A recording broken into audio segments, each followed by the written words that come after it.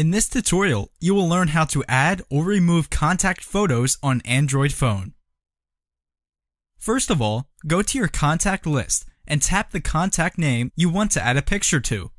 We'll choose our friend's contact. Tap the three little dots in the upper right corner of the screen.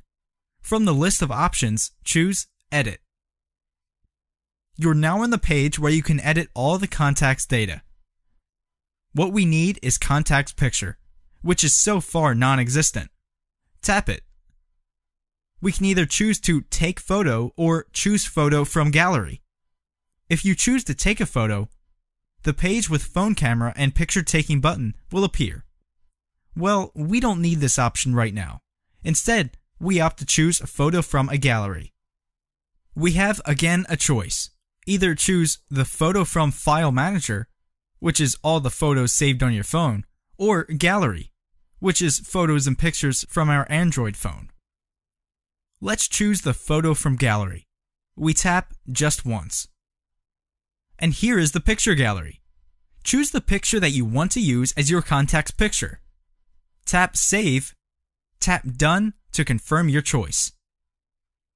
Our friend Stacy has a new contact picture now, which does not look that friendly, does it? Let's change it to something more fun. Tap the contact again. Tap the button with the three dots again, and finally, tap the contact picture. From three offered options, you can choose to remove the photo, take the new photo, or select New Photo from Gallery. We could have easily removed the photo, but we'll replace it instead with another photo from a gallery. That's it! You've just learned about adding, removing, and replacing your contact picture on Android. This was a HowTech tutorial. Like us on Facebook love us forever, or leave us a comment here in the fields below. Thanks for watching.